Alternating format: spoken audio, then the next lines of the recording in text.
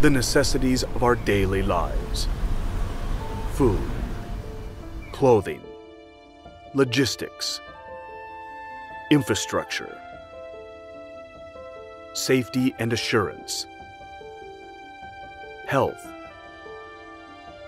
culture are always in motion, somewhere, with someone working to provide something.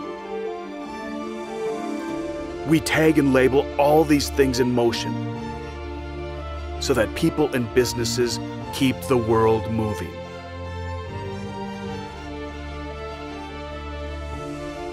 A connected, sustainable world all starts with a single label. And we start where you are.